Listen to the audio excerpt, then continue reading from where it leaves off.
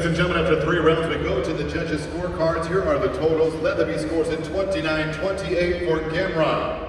Judge Wolf, 29-28, Kutateladze. And Judge Ransom scores at 29-28 for your winner by split decision, the Georgian Viking Guram Kutateladze!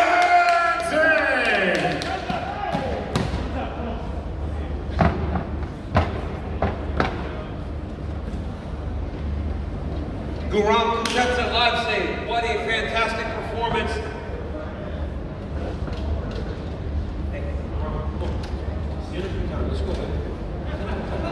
What a fantastic performance.